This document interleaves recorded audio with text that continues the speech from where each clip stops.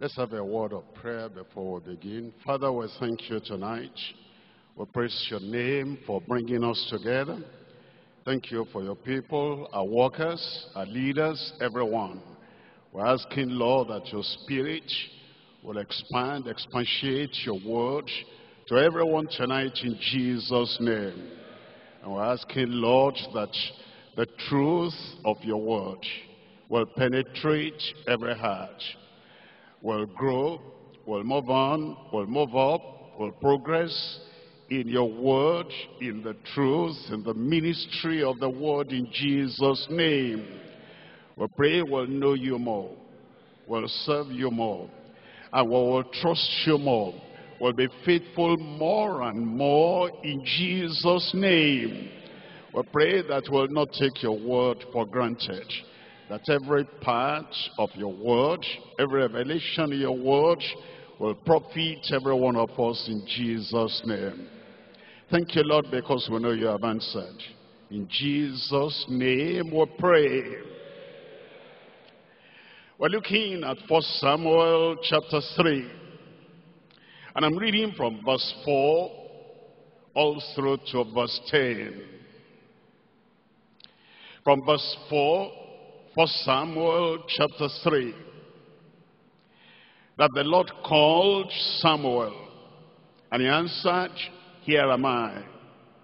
And he ran unto Eli and said, Here am I, for thou callest me. And he said, I called not. Lie down again. And he went and lay down. And the Lord called yet again Samuel. And Samuel arose and went to Eli and said, Here am I, for thou didst call me. And he answered, I called not, my son, lie down again. Now Samuel did not yet know the Lord, neither was the word of the Lord yet revealed unto him. And the Lord called Samuel again the third time. And he arose and went to Eli and said, Here am I, for thou didst call me. And Eli perceived that the Lord had called the child. Therefore Eli said unto Samuel, Go, lie down. And it shall be, if he call thee, thou shalt say, Speak, Lord, for thy servant heareth. So Samuel went and lay down in his place. And the Lord came and stood and called as at other times, Samuel, Samuel. Then Samuel answered, Speak, for thy servant heareth.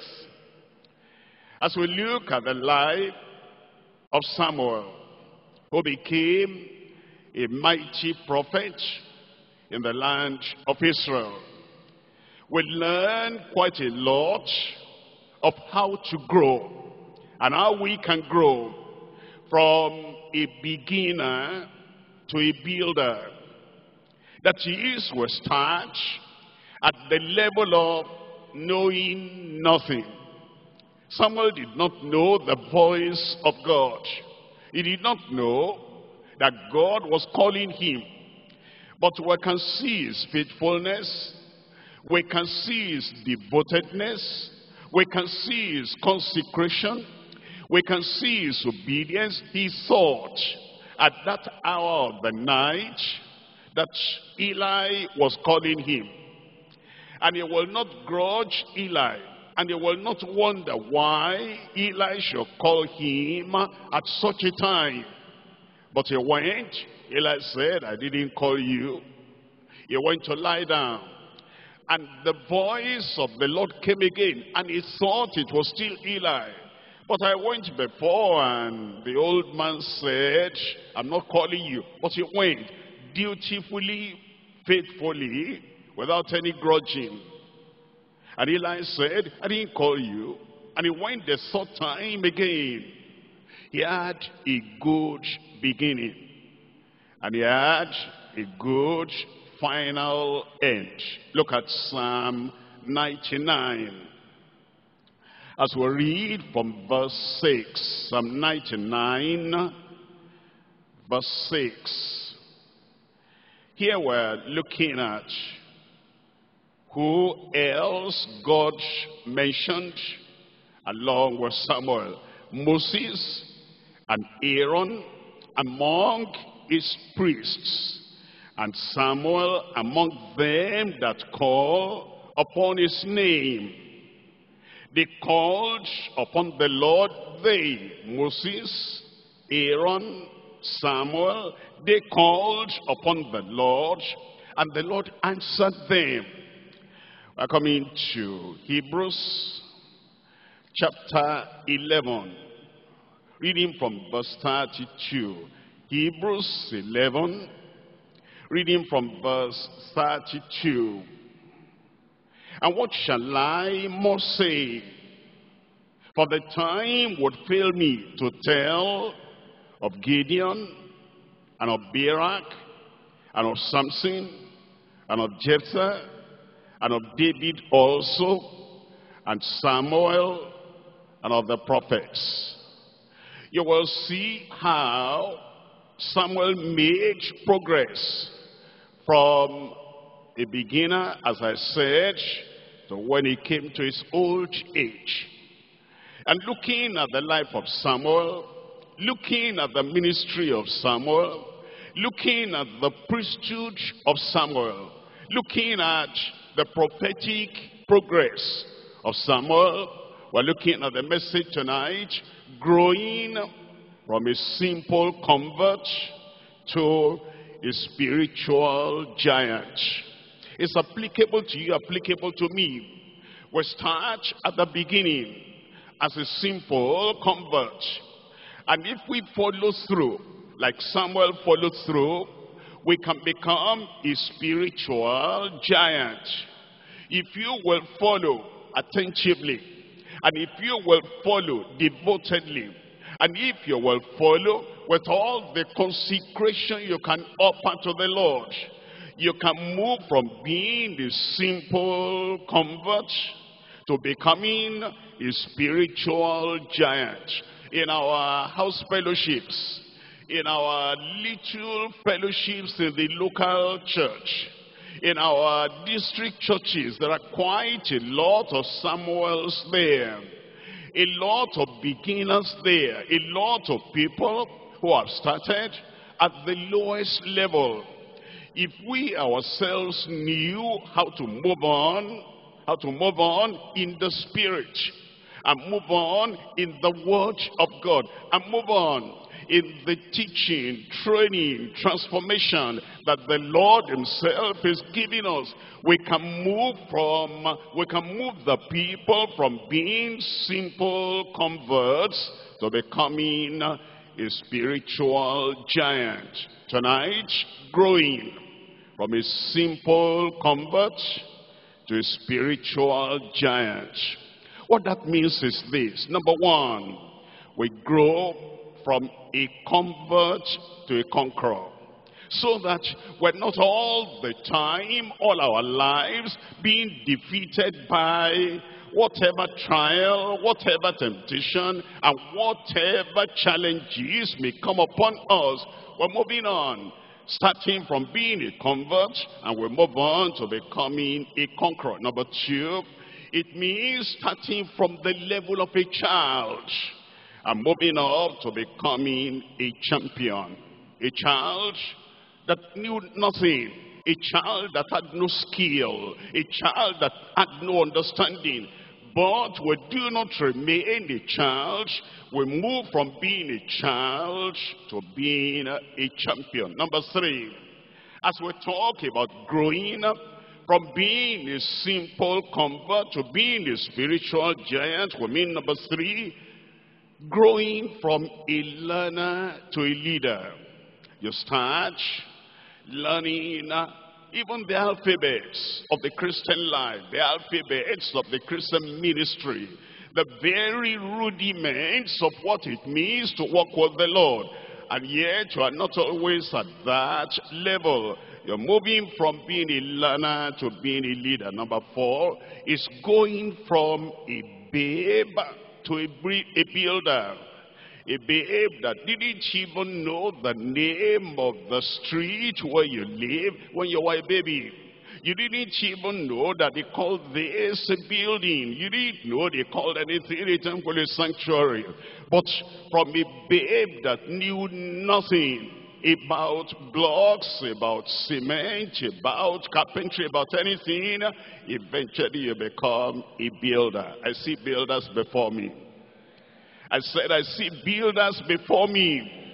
Growing from being a simple convert to becoming the spiritual giant means, number five, you go from a novice to a nobleman. A novice to a nobleman.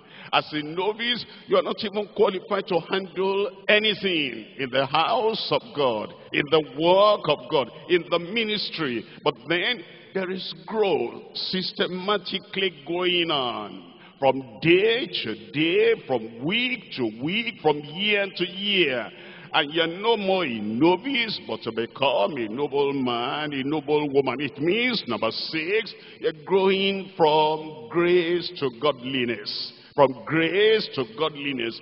All you can say when you are born again, thank you, Lord, for the grace. Thank you for the grace. Give me more grace. Multiply your grace. Increase your grace. But now, you're moving from that level of grace, you're moving on to godliness. Number seven, you're moving from godliness to glory. Godliness to glory. Now, everything you do, you think and you consider the very glory of God this must be to the glory of God. Something simple, something common, something ordinary, something challenging, whatever it is, you say, my aim, my goal, my pursuit is that, and it's not only that I'm just godly in my personal, private life, there is glory for God. Number eight, you're from the beginner to a finisher a beginner to a finisher. There was a day that Paul the apostle began. The Lord called him. And then he moved on until he could say, I have finished my course. Those are the people that do not faint in the middle of the road. Those are the people that do not give up when challenges come, when a lot of stormy, raging water passes under the bridge. And as they begin, eventually they finish. You have started well, you will finish well. I will finish well. I said, I will finish well. Growing from a simple convert a spiritual giant. Three things we're looking at. Number one, Samuel's conversion and conviction through prayer. Samuel's conversion and conviction through prayer. Point number two, his steadfast consecration and commitment to purity. His steadfast consecration and commitment to purity. Point number three, is solemn commission and courage as a prophet. In brackets, after that prophet, you put preacher. Was really a preacher, a preacher. A solemn commission and courage as a prophet preacher. We're coming to point number one now. Samuel's conversion and conviction through prayer. In 1 Samuel chapter 3, for Samuel, let's back up to chapter 1. For Samuel chapter 1. And see the beginning of this Samuel, who became a giant, a mighty prophet in the land of Israel. For Samuel chapter 1. I read from verse 26. And she said, as the mother, O my Lord, as thy soul liveth, my Lord, I am the woman that stood by thee here, praying unto the Lord. For this child I prayed, and the Lord has given me my petition, which I asked of him. Therefore, I also have lent him unto the Lord. As long as he liveth, it shall be lent to the Lord. And he worshipped the Lord there. You might not have noticed some subtle things hidden within those verses. The mother had kept the child until the child was weaned until the child could now stay alone away from the mother. And the mother obviously had been talking to the child. This is how you were born. This is how you were conceived. You were conceived by prayer you were born through prayer and your life will be based on prayer I got you through prayer and the only way you can make it in life is to follow after the prayer pattern and the prayer life of your mother. And I'm going to, I've already promised the Lord, actually, your name is called Samuel because I got you from the Lord and I'm going to hand you over to the Lord. It's one thing for the mother to consecrate. It's another thing for the child to accept that consecration and to link up with that consecration. It's one thing for Abraham to be willing to offer Isaac. It's another thing for Isaac to totally surrender and to totally yield to the consecration of Abraham and accept to be sacrificed unto the Lord. It is in that consecration and that decision which the mother had taken that Samuel accepted, that Samuel surrendered to, that's where his conversion came in. That now when the mother handed him over unto Eli and said, Eli, I'm not giving the child to you, I'm giving the child to God. And as long as he lives, the mother did not have any other child at this time, but as long as he lives, he will be linked permanently unto the Lord. And Samuel accepted to be offered unto the Lord.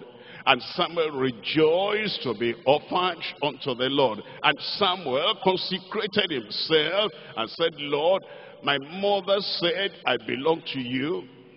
It is not just what my mother has said. I also say, I belong to you. I give myself to you. He had a conversion. Look at the last line of verse 28. And he worshipped the Lord there. It's not talking about Eli. It's not talking about the mother, Hannah. It's talking about the boy. And he, Samuel, worshipped the Lord. Look at chapter 2 now. In chapter 2 of 1 Samuel, I'm reading from verse 17. Second uh, chapter, verse 17. Wherefore, the sin of the young men, those are the sons of Eli. Their sins were very great before the Lord. For men abhorred, and men uh, detested the offering of the Lord. But Samuel, he had a different life. He had his own personal conviction. He had his own personal decision. He had, he had his own personal devotedness unto God. And whatever others did will not move him. He, they were older than himself. They were the sons of the priest, the sons of the high priest. And they were already ministering before he got there.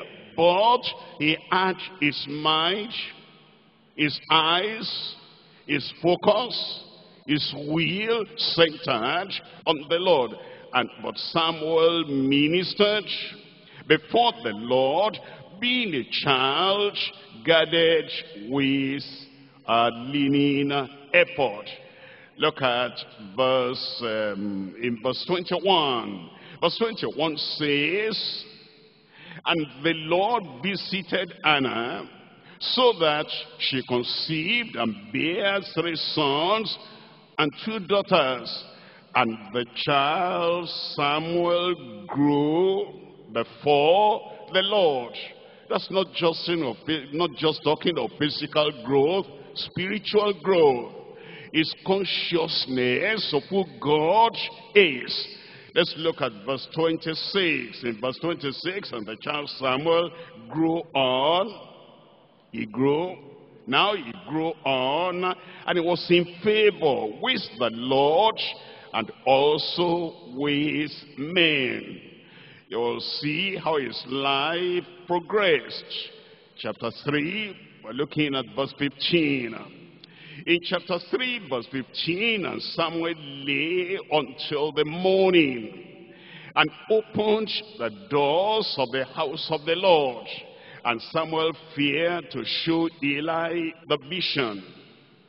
Then Eli called Samuel and said, Samuel, my son. And he answered, Here I am, here am I.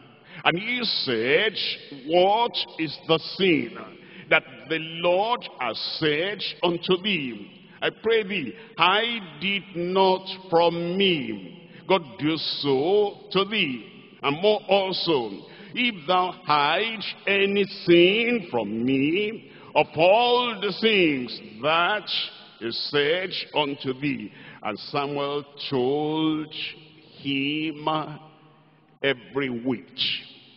No addition, no subtraction, no cutting up, no adjustment, nothing of craftiness or cunning. He told Eli every which and hid nothing from him. And he said, It is the Lord, let him do what seemeth him good. As you follow the life of Samuel, you can see that although you may not know the time, you may not know the place, but you will know a definite conversion experience are taking place. The life shows that the distinction of his life, the difference in his life showed that, that a conversion uh, are taking place. Conversion is very important. Transformation of heart, transformation of life, very important. Look at Psalm 19. In Psalm 19, reading from verse 7. Psalm 19, verse 7. The law of the Lord is perfect, converting the soul. The environment was not perfect. Eli was not perfect. The sons were really polluted. They were not perfect. Temple worship was not perfect. But the law of the Lord is perfect. Whatever the condition of the preacher, whatever the condition of Eli, the law of the Lord is perfect, converting the soul. And that was the privilege that Samuel made use of. I won't look at the life of Eli. It's not my place to judge him. God even reveals something to me about him. That's not my business. He told me to tell him, I told him. I didn't told anything. And the response was not the best of responses. Instead of repenting, instead of calling his son to attention, he said, okay, God is God, let him do what he will do. I'm not looking at that. He was basing his life on the law of God, and the law of the Lord is perfect, converting the soul. Uh, there are some people that use um, uh, some churchgoers as their excuses. I know so-and-so is not living well. That's why I'm not converted. I know these children, they are not doing right, that's why I'm not converted. That's just an excuse. The law of the Lord is there. The copy of the Bible is in your hand. The word that will not fail is in your hand. The law of the Lord is perfect. That's what converts the soul. Psalm 51. Reading from verse 12, Psalm 51, we're reading from verse 12. Restore unto me the joy of thy salvation, and uphold me with thy free spirit. Then will I teach transgressors thy ways, and sinners shall be converted unto thee. That's the purpose of us being saved Restore to me the joy of your salvation. And once I have that assurance of salvation, I will teach sinners your way, and sinners shall be converted unto thee. That's why you're a walker. That's why you're here. That's why you're ministering to children like Samuel, children like Josiah, children like Joseph, children like Jeremiah. That's why you're ministering to them. Then will I teach transgressors thy ways, and sinners, even children, shall be converted unto thee. That's why you're a youth leader. That's why you're a woman leader. You yourself, you have assurance of salvation. And there you declare the transforming word of Christ, of God, of grace unto the people. And then you lead them to conversion. And conversion, without conversion, all else is useless, worthless, and will not profit us for the kingdom. Matthew chapter 18. In Matthew chapter 18, we're reading from verse 3. Matthew chapter 18 verse 3. And said, Verily I say unto you, except ye be converted and become like little children, ye shall not enter into the kingdom of heaven. Except our members in the house fellowship are converted, we're wasting time. We're wasting life. We're wasting resources. We're wasting our ministry. We're wasting our skill. Except our members in the local churches and in the groups and in the region, in the state, except our members are converted, we're wasting their time. We're wasting our own time too because they will not get into the kingdom of heaven. And the life of Samuel teaches us that no matter how bad their environment may be, no matter how defiled, how corrupt, how polluted the environment may be. Some of, uh, sometimes some of the women might tell the woman leader, you know, I really can't uh, make any progress spiritually. You know why? My mother in the Lord. The reason is because my husband is terrible. And the children are terrible. And the situation is terrible. My dear sister, she doesn't have any excuse. The community in which Samuel grew up, and the house in which he lived, and the temple in which he ministered was corrupt and polluted and evil and defiling. Yet Samuel was converted. And except you be converted like that little child Samuel, you will not enter into the kingdom of God.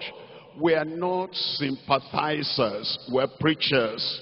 We're not to sympathize with, you know, the women and the children and the members and the men who are in our fellowship and say, I understand their condition. Things are terrible. He just lost his job and he just lost this, he just lost that and the community is evil. And because of that, what do we expect? Well, Samuel could have given a lot of excuses.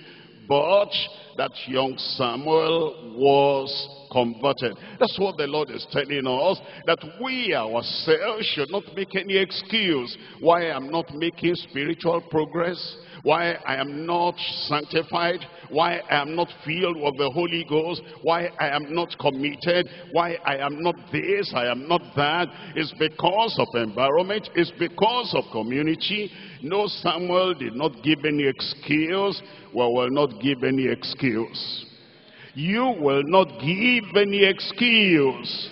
Conversion is very important. Acts of the Apostles, Acts of the Apostles chapter 3, and we're reading from verse 19. Acts chapter 3, verse 19. Repent ye therefore and be converted.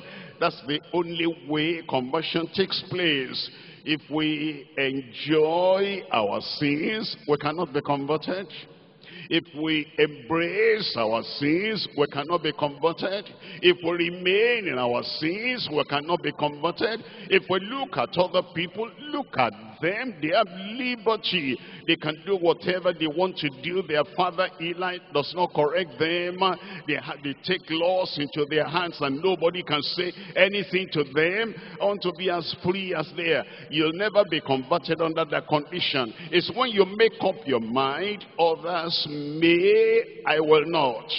Others may, I cannot.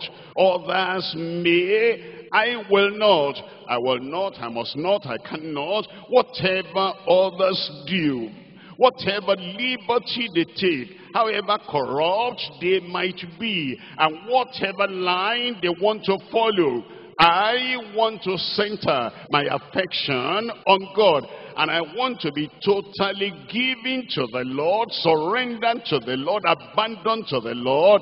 That's how we get converted. Repent ye therefore don't make any excuse. Repent ye therefore. Don't say, if they can do it, why can't I do it? You are born separate from them. You came into the world apart from them. And when you leave this world, you will face the judgment of God all alone by yourself. Always think about that. Whatever others do, I must yield and surrender completely to the Lord. Repent ye therefore and be converted that your sins may be blotted out when the times of refreshing shall come from the presence of the Lord. Verse 26, unto you first, God having raised up his son, Jesus, sent him to bless you in turning away every one of you from his iniquity. Turning away everyone from his iniquity. And you can tell as you look at the life of Samuel that he had, number one, conversion. Number two, he had conviction. What kind of conversion did he have? Number one, he had early conversion early conversion. He didn't wait until older years when he will be hardened in sin. He didn't wait until older years when he would have sowed wild oats. He didn't wait until when he would have become habitual and rigid in evil. He had an early conversion. Can you have an early conversion? Yes. Whatever age you are, the moment the word of God comes to you, there is but just one thing to do, just obey, just obey. Number two, he had exceptional character.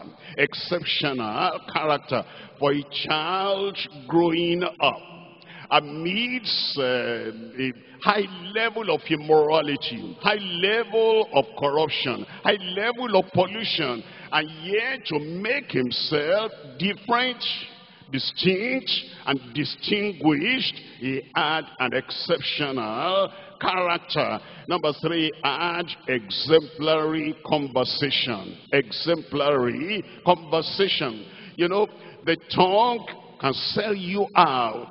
The tongue can reveal who you are. And your tongue, your conversation, your discourse, the things you share with other people, and the things you love to hear. If you love to hear dirty stories, huh? conversion is not there. If you like to hear immoral tales, conversion is not there. If you like to hear Stories that will pollute your mind. Stories that will drive you, draw you to wanting to do evil. True conversion is not there. But this uh, young child had exemplary conversation. Number four, he had an enlightened conscience. An enlightened conscience. You see, there are people, if they say they are converted, their conscience, they don't carry their conscience along whatever they do, wherever they go, the conscience is not acting like a sharp-sighted policeman inside them, cautioning them, correcting them, and correcting them. But you see, eh, this uh, young man, young child, he had an enlightened conscience. While the Hophni and Phinehas, what they were doing, what they were doing, his conscience will say, that's wrong. That's wrong. That's wrong. God has not changed. The word of God has not changed. The expectation of God has not, that's wrong. His conscience was enlightened. He had number five, evident consistency. Evident consistency. You see, there are people, they are up, they are down, they're righteous, they're righteous, they stand, they fall, they're strong, they're weak, not Samuel. Consistency in his character consistency in his comportment, consistency in his conduct. He had evident consistency. You know, as a Jewish child, every child that is born in the land of Israel, a boy must be circumcised. And although you cannot tell the day of the circumcision, but we know he was circumcised because that was the regular sin, the normal sin in Israel. But you know what we discover? That Samuel did not have just the ordinary, regular circumcision. He had heart circumcision. You can tell the evidence is there. As you come to the Lord, you're saved. Your sins are cleansed. Your sins are taken away voluntarily by yourself, like it happened unto Samuel. You go to the altar again, you go to the cross again, you go to Christ again. Circumcise my heart. Number seven, he had heavenly commendation. Heavenly commendation. The Lord pushed Eli aside, and the Lord will not talk to Hophni and Phinehas, but the Lord will talk to Samuel. And even when Samuel did not know it was God calling and he went to Eli, God called again. And even though uh, Samuel still did not know, God did not say, well, he doesn't understand, let me now talk directly to Eli. He called Samuel again. And for the first time, he called Samuel again. He had heavenly commendation. His conversion is, there's no doubt about it at all. It's not debatable. is not refutable. Not only that, he had conviction. You can tell. If a person is living in a corrupt society, but he remains like a white lily, growing from the dirty mud, and the stain of the soil of the mud is not on the white lily. That's what we're talking about, conversion. Samuel had, number one, earnest conviction. Earnest conviction. His conviction was not dull, dim, and his conviction was not something you cannot see. He distinguished himself. The question is uh, for you now what conviction do you have? In your office, what conviction do you demonstrate? In your home, what conviction do you demonstrate? Among other workers in the church, other leaders in the church, are you like, you know, dead fish flowing with uh, the river? Or do you have an earnest conviction? Number two, he had entire consecration. There was no area of his life that was not given to God. He didn't say, well, mother, give me to God, lend me to God. That, that's mother. But now I'm going to withdraw my heart. I withdraw my skill. I withdraw my faithfulness. I withdraw my loyalty. Everything he had, he surrendered everything, entire consecration. He had an enriching communion, communion with God, communion with God. That's what we read in Psalm 99 verse 6. Samuel among the people that called upon the Lord that prayed. And God answered them. He had enriching communion. How, how enriching is your communion with God? Do you talk to men more than you talk to God? Are you confident of talking to neighbors more than you talk to God? When you talk to God, do you have the consciousness you are really communicating and you are really talking unto the Lord? Samuel had that, enriching communion. Number four, he had entrusted commission. The Lord could entrust something into his son. And the Lord did not allow any of his word to fall to the ground that man distinguished himself. And that man said, I am totally for the Lord, and the commission he has given me, I hold firm, and I cherish it. He had entrusted commission. He had number five, an established calling. An established calling. And all the people of Israel knew that God had made Samuel a prophet. His calling was established. Is your calling established? Or anytime you are not around, nobody knows you are not around, nobody feels you are not around, no, nobody resists any qualm, anything, because you are not around. Do we feel your absence when you are not there? And do you yourself feel you are like fish outside water when you are not there? Do you have an established calling? Number six, he had enduring courage. Enduring courage. Look at the message he received as a child. And he had to give that to Eli. And it's about Eli and his sons. And about the judgment that will come upon Eli. Ah, people don't like you talking about their children. And people don't like you talking to them about the waywardness of their children. And how can I talk to him about the children and about what God had said? There are preachers who are afraid. They cannot talk to the children. The children may react. They cannot talk to the youths. The youths may react. They cannot talk to the parents. The parents may react. They cannot talk to anybody in the church. And they cannot be direct to correct anything. Because they are so much timid and they're so much afraid. If I talk, it will look like I am criticizing them. And they will fight me. They cannot stand for God. They cannot stand for righteousness. In the case of Samuel, he could stand you will stand. I said you will stand.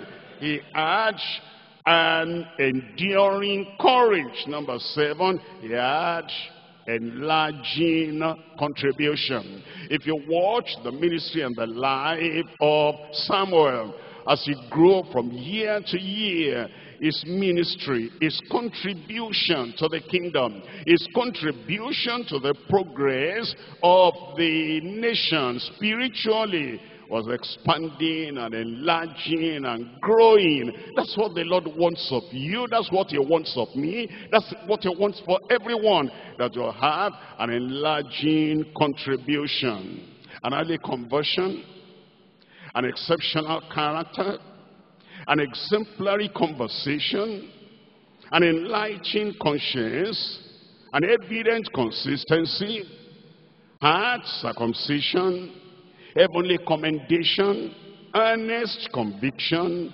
entire consecration, enriching communion, entrusted commission, established calling, enduring courage, enlarging contribution. The Lord reproduce everything in your life in Jesus' name. I said, the Lord reproduce all this in your life in Jesus' name. Point number two now is steadfast consecration and commitment to purity. We're coming back to 1 Samuel. In 1 Samuel chapter 2, 1 Samuel chapter 2, we're reading from verse 21. This passage is showing us what was around him as he was growing up. And the life he lived as was growing up. And the distinction and the standing and the integrity as he was growing up. For Samuel chapter 2, reading from verse 21. In verse 21, for Samuel chapter 2, it says, And the Lord visited Hannah, so that she conceived and bare three sons and two daughters. Look at this. And the child Samuel grew before the Lord. Before the Lord. This young man, this young child was always conscious, I live my life before the Lord. I say what I say before the Lord. I attend to the temple worship before the Lord. I interact with Eli and anyone before the Lord. I take all my decisions before the Lord. He was conscious of the presence of the Lord every time. And so he was growing before the Lord. Let everything you do a conscious demonstration that are always before the Lord. Now Eli was very old and heard all that his sons did unto all Israel and how delay was the women terrible that assembled at the door of the tabernacle of the congregation. It was open sin, open scandal, open corruption. And yet Samuel was not influenced by all that open pollution, defilement, corruption. And he said unto them, that the father talking to them, why do ye such things? I, for I hear of your evil dealings with all these people. As bad as the situation was, Eli was such an indulgent father. He couldn't discipline the children. He could, but he didn't. And he didn't remove them from office and he allowed his children in fornication and adultery, defiling the worshippers, he allowed them to continue like that. But Samuel will not look in that direction. Are there preachers? Are there pastors? Are there ministers in our church who know that their children are living literally in fornication, in adultery. And those children are still under their roof, under their care. And they know. But like Eli, they will not do anything. And other members of the church know, they say, pastor's son, pastor's daughter, they say is overseer's son, overseer's daughter. They will not do anything. And there are people that will say, okay, if overseer's son is doing that, if overseer's daughter is doing that, and they're not checking them, and they're still in the choir, they're still here, they're still here. How about me? Why am I punishing myself? Samuel did not think it was punishment for him. He was living his life before the Lord. The Lord will judge every Eli who will not judge their children. I want to hear good amen. It's not right. It's not right for the child of a minister, the child of a leader, the child of a pastor, the child of anybody in the church to be defiling other people and sending them to hell and then we fold our hands they will not hear from my mouth they will not hear any story from me. You are an accomplice, you are part of them. When the judgment comes, it will fall on you as well. Nay, my sons, verse 24, for it is no good report that I hear. Ye make the Lord's people transgress. Ye make the Lord's people transgress. Ah, Eli, if you knew that, that they make the Lord's people transgress, do something about it. Take them away from there. Remove them from here. Eli said, no, I cannot. I fear my children. I don't like the frown of my children. I'd rather face the judgment of God and face the judgment of my children. Well, but let's look at Samuel you will be a Samuel. Somebody there said you will be a Samuel. And the child Samuel grew on and it was in favor both with the Lord and also with men. And at the right time, God promoted Samuel. At the right time, he will promote you. But don't put your hand in any evil thing. Don't say, I'm still a young person. I cannot take my stand. I'm still a young person. I cannot, you know, fight against sin. I'm still a young person. I cannot stand against sin. I cannot be pure when my seniors are impure. Why not? Look at Proverbs chapter 20. Proverbs chapter 20. I'm reading from verse 11. Even a child is known by his doings, whether his work be pure, a child, whether his work be pure, a little one, whether his child be pure, a growing Samuel, whether his life, his work be pure, and whether they be right. Of course you can be pure. You can be pure. You'll be pure in Jesus' name. We're coming to Psalm 51. Psalm 51, we're reading from verse 6. Psalm 51 verse 6, Behold, thou desirest truth in the inward parts, and in the hidden parts thou shalt make me to know wisdom. Purge me with hyssop. If as you pray every time after getting saved, you keep on praying, Lord, keep me clean. Lord, keep me pure.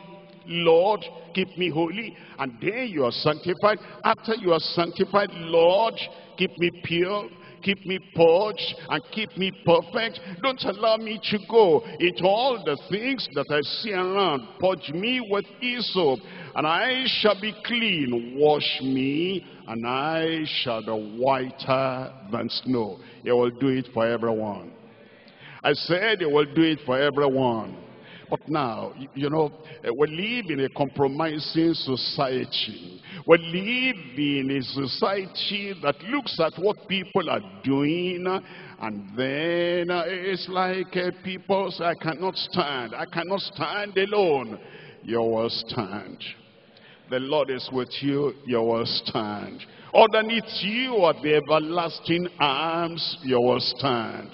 One with God is in the majority. And you are not alone. I said you are not alone.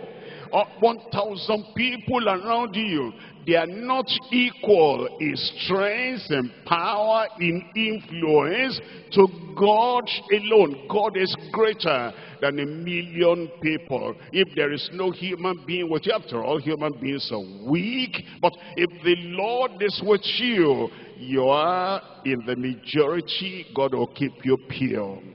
Look at First Timothy chapter 5. First Timothy chapter 5 verse 22. First Timothy chapter 5 verse 22. Lay hands suddenly on no man, neither be partakers of other men's sins.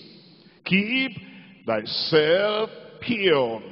Uh, you know, there are too many yes men in many churches, even in our church. There are many yes women in many churches, even in our church. They do not know how to say no. The people who are living in sin, they're looking for associates. They're looking for approval. They're looking for people who will tell them, it's all right, it's all right. Who am I to tell you you are not all right? You're my senior. You're a senior woman. You're a senior man. You've been here before me. And you are ahead of me. Well, even though you know your heart is not living right, she's not living right, who am I to say that? And you are a partaker of other men's sins because you are a yes man, a yes woman. You cannot keep yourself pure and say, I cannot approve of that. I cannot say yes to that. I cannot smile at that. Whatever they call their name, whatever height, whatever height they have reached, here I stand. You will stand in Jesus' name. Keep thyself pure. I will say that is what Samuel did. He saw them. He knew them. He kept himself pure. We're looking at Psalm 24. This is what it takes to get to heaven. Purity of heart. Psalm 24. We're reading from verses 23 and verses 3 and 4. Psalm 24 verse 3. Who shall ascend unto the hill of the Lord? Or who shall stand in his holy place? He that has clean hands and a pure heart he that has clean hands and a pure heart, who has not lifted up his soul unto vanity, nor sworn deceitfully. Matthew chapter 5. Matthew chapter 5. I'm reading from verse 8. Matthew chapter 5 verse 8. Blessed are the pure in heart, for they shall see God. I pray you will see God. Here on earth, you will see God. And when your eyes close over here and you open your eyes on the other side, you will see God. How did Samuel remain pure in that community, in that situation? How can you remain pure? No stain, no blemish, no defilement, whatever is happening around you. Number one, passion for purity. Passion for purity. Samuel had a driving passion for purity. He said, like people have passion for money, they have passion for prosperity, they have passion for property, they have passion for other things. Samuel had passion for purity. And that's what you should have in your life. To say, whatever else I lose, whatever else I have, I have passion for purity. Number two, prayer for purity. It's by prayer. This is not what you do by yourself. Cleanse me, purge me with hyssop, and I shall be clean. You offer prayer you offer it now so you can have the instantaneous experience of sanctification. And after that sanctification, after that holiness experience, you keep on praying to remain pure. Number three, possession of purity. You don't say, okay, I prayed whether God has done it or not, but I prayed, I prayed, I claim it, you must possess. There, there must be that cleansing, there must be that purity that you know He has made you, He has washed you whiter than snow. Number four is the peacefulness through purity. Uh, have you noticed that Samuel did not argue with any of those children, Hophni or Phinehas? Did not get into any confrontation with them. He was a peaceful child, not a pugnacious child. He had peacefulness through purity. He said, they're my seniors. I can't fight them. They're my seniors. The Lord has not placed me on them to be their policeman. And so he had peacefulness through purity. Are you peaceful in your life? Are you pugnacious? Are you always fighting?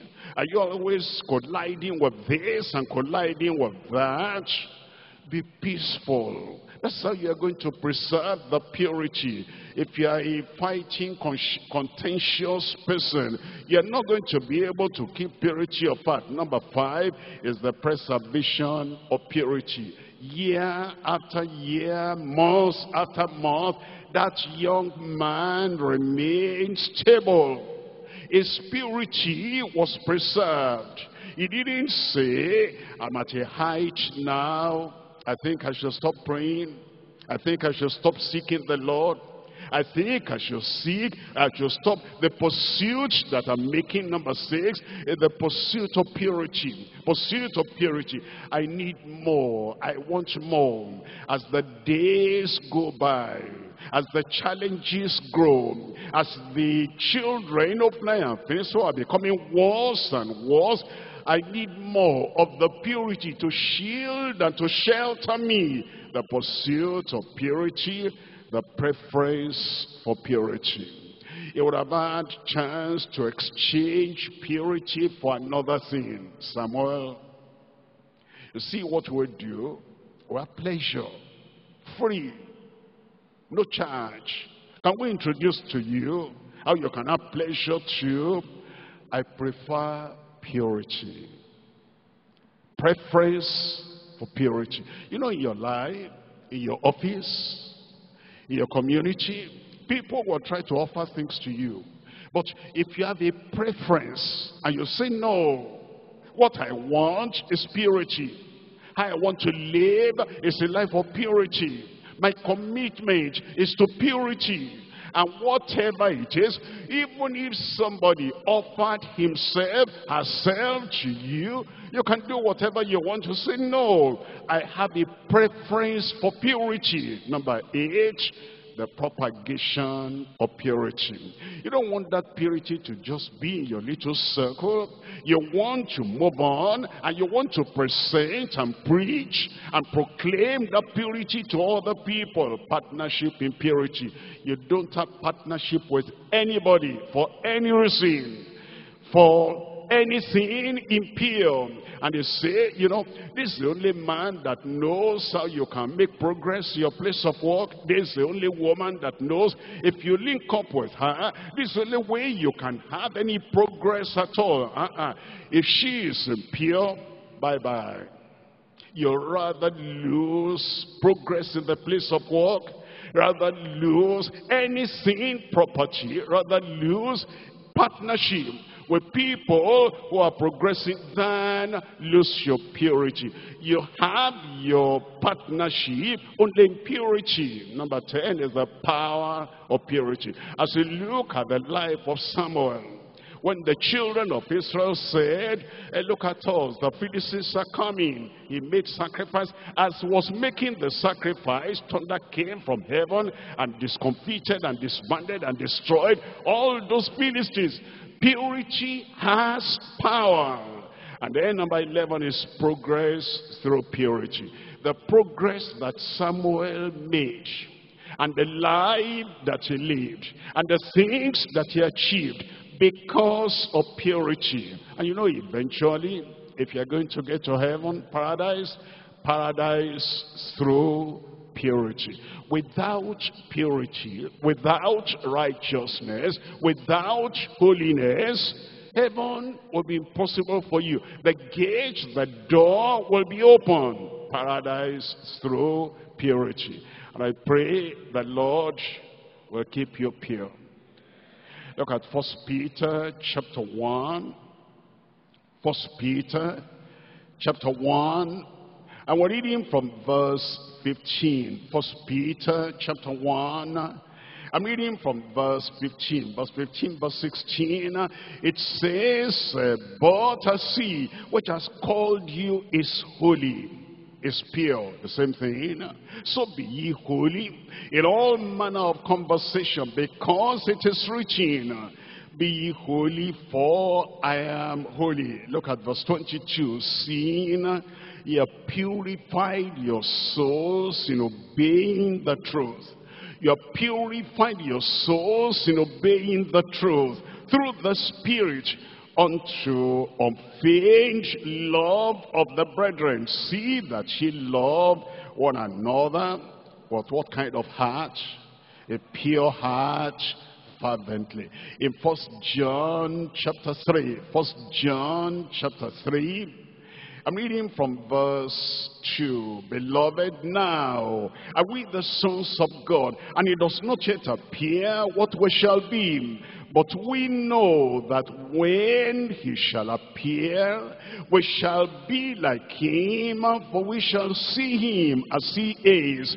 And every man that has this hope in him purifies himself even as he is pure. I pray every one of us will be pure. By the cleansing of the blood of the Lamb will be pure. By the grace which is above every challenge and every temptation will remain pure in Jesus' name. Point number three now is solemn commission and courage as a prophet preacher. A solemn commission and courage as a prophet preacher. In 1 Samuel chapter 3, 1 Samuel chapter 3, we're reading from verse 17. 1 Samuel chapter 3, verse 17. And he said, What is the sin that the Lord has said unto thee? I pray thee, hide it not from me.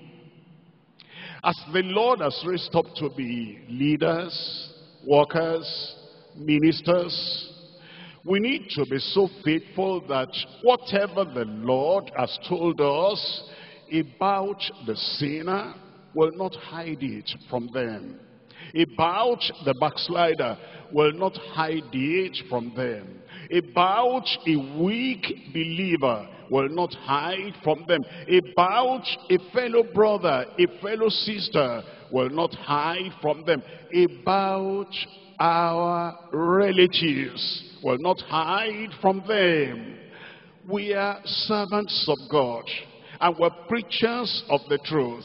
And our first loyalty is to God. Our first commitment is unto God. We cannot love the sinner more than we love God. We cannot love the people we're preaching to more than we love God. We must be so faithful. We declare the word of the Lord as God has given to us. Eli said, What is the sin that the Lord has said unto thee? I pray thee, hide it not from me. Don't hide the truth. Don't hide the gospel. Don't hide the word from people who need to hear. Verse 18, and Samuel told him every which, every detail, every area, everything, the whole truth. And he hid nothing from him. Verse 19, and Samuel grew, and the Lord was with him. Has to be with him. A faithful child like that, a faithful worker like that, a faithful minister like that.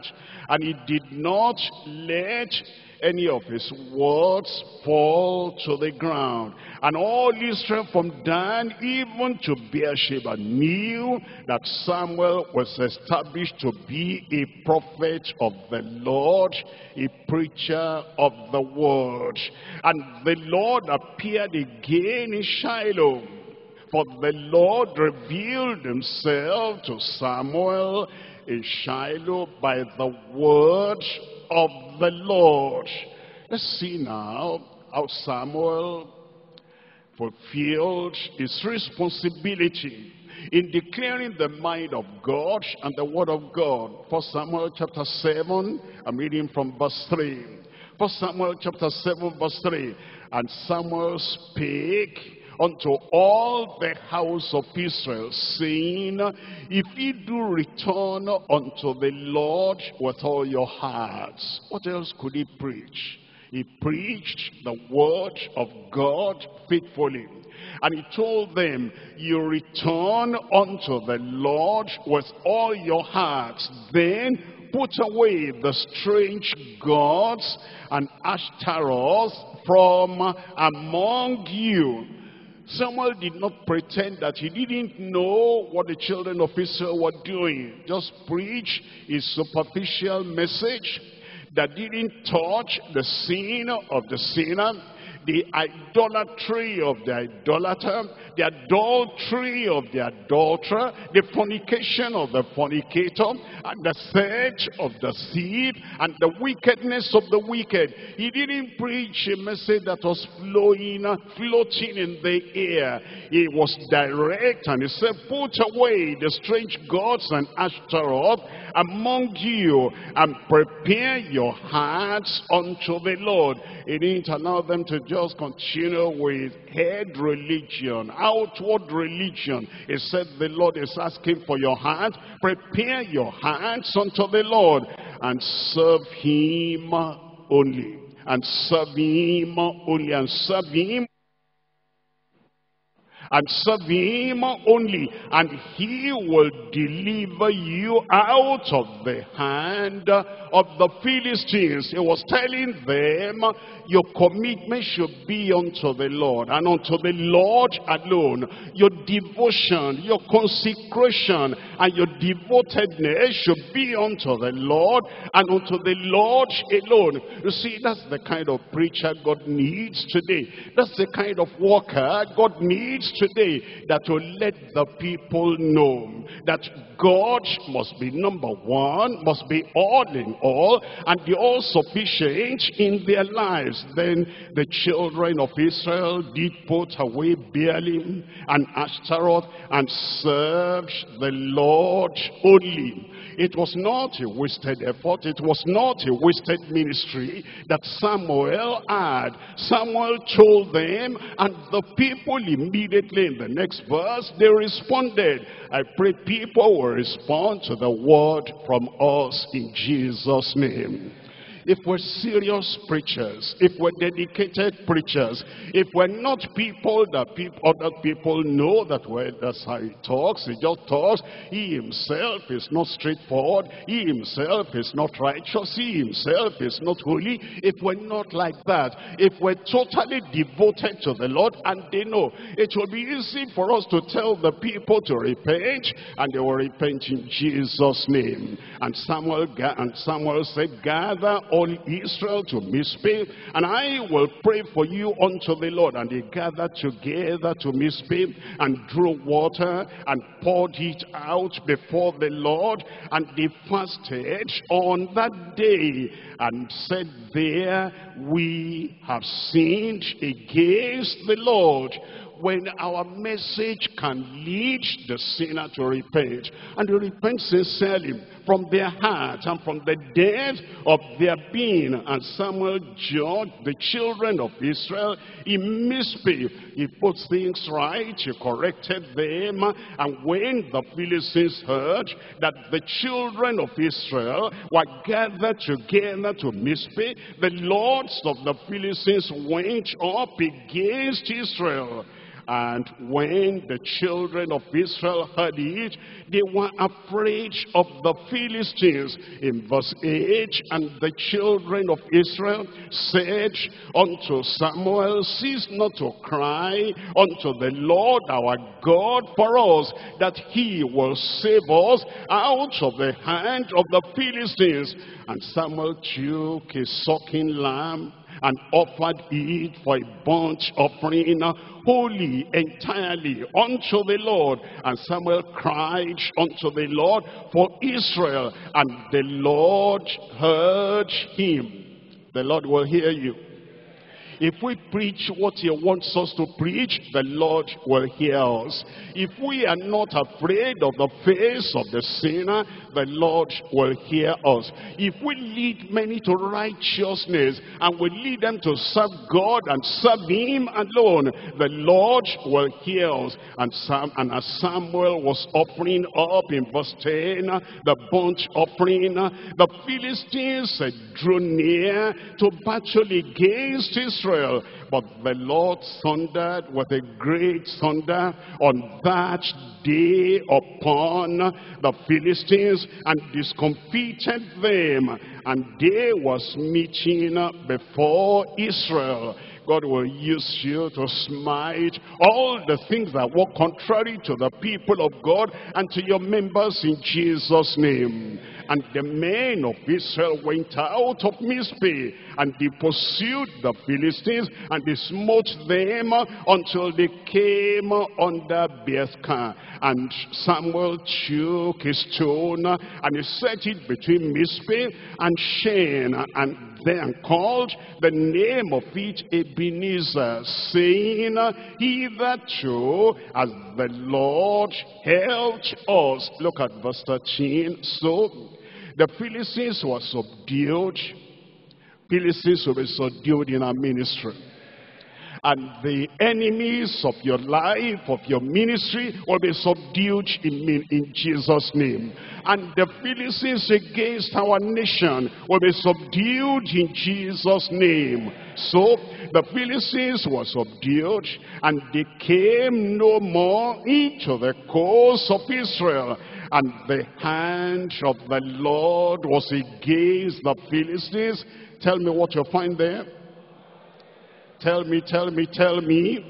All the days of Samuel, all your days, the Lord will keep enemies of your congregation under in Jesus' name. He'll put them under subjection, and you will be on top and the people of God will be on top. Look at chapter 8 of 1 Samuel. 1 Samuel chapter 8. I'm reading from verse 10. 1 Samuel chapter 8 verse 10. And Samuel told all the words of the Lord unto the people that had asked him for a king. Didn't hide anything. Samuel was known as telling the whole truth and preaching the whole word and hiding nothing. You know, what I was talking to Eli, one person, I was talking to all the people. He told them all the words of the Lord. Look at verse 21. In verse 21, and Samuel heard all the words of the people, and he rehearsed them in the ears of the Lord. He told the Lord everything the people said. He told the people everything the Lord had said. I pray God will give us that faithfulness. Chapter 10 of 1 Samuel. 1 Samuel chapter 10. I'm reading from verse 9. 1 Samuel chapter 10 from verse 9. And it was so that when he had turned his back to go from Samuel, God gave him another heart. That's talking about Saul. Samuel had spoken to Saul and when Saul was leaving, the Lord performed a miracle of transformation. He affirmed and confirmed the word of Samuel. He will confirm your word. There will be transformation as a result of your word unto the people in Jesus' name. For Samuel chapter 12. For Samuel chapter 12 I'm reading from verse 20. For Samuel chapter 12, and we're reading from verse 20. And Samuel said unto the people, Fear not, ye have done all this wickedness, yet turn not aside from following the Lord, but serve the Lord with all your heart consistency in his message. That's what I said before. Serve God with all your heart. Don't turn aside to the right or to the left. He repeated the same thing unto them. Serve the Lord with all your heart. And turn ye not aside, for then should ye go after vain things, which cannot profit or deliver, nor deliver, for, for they are vain. For the Lord will not forsake his people, for his great name's sake because it has pleased the Lord to make you his people. Moreover, as for me, as for me, as for me, God forbid that I should sin against the Lord in ceasing to pray for you. He said, if I didn't pray for you, I'll be committing sin because God has made me a prophet, a priest. I take your case to God. I take the cause of God unto you. And then he said, but I will teach you the good and the right way. He was committed to teaching the good and the right way. And I pray the Lord will give us, will give every one of us the same commitment in Jesus' name.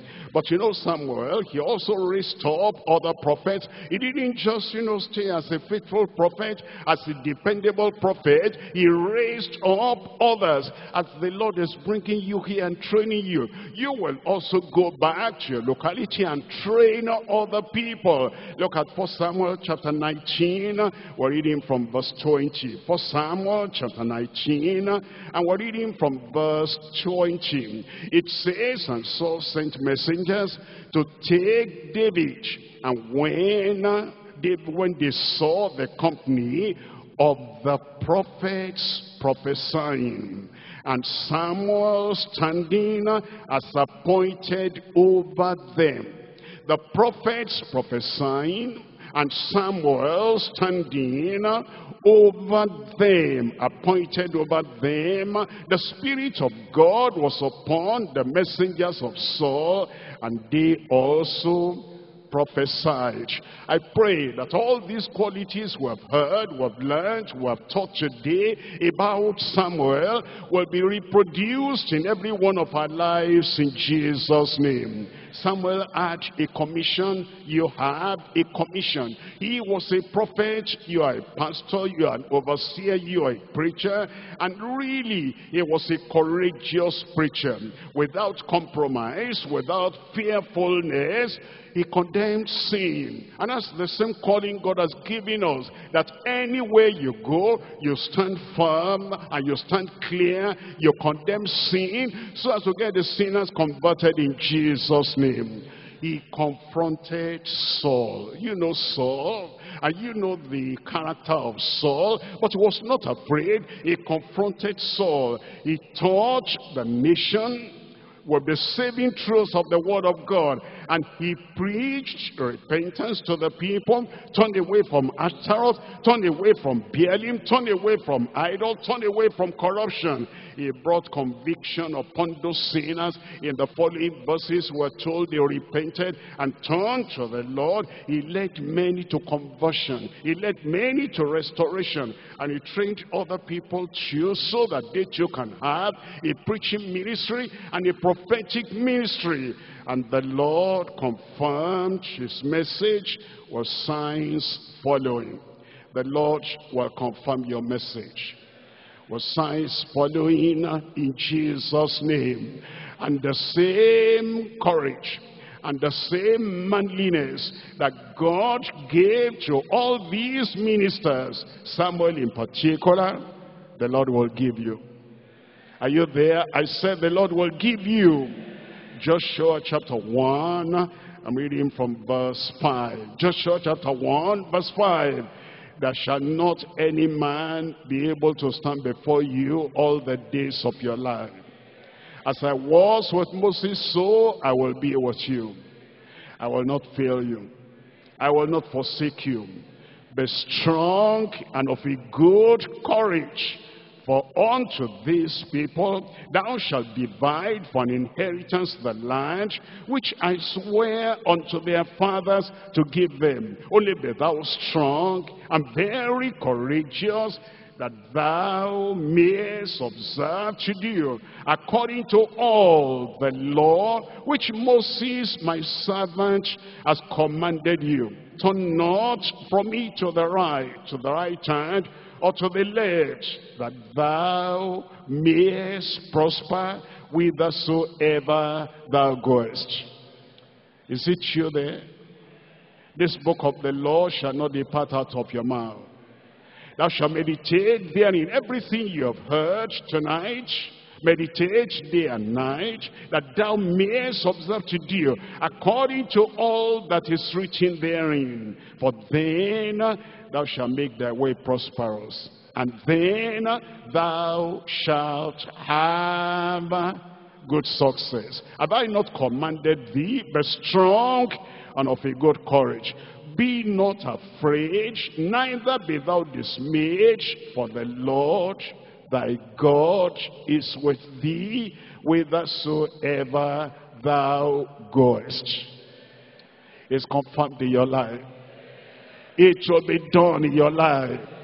Remember Samuel, how he grew from a simple being, a simple convert to spiritual giant. Don't remain a grasshopper. Grow up, you'll be a giant in the Lord in Jesus' name.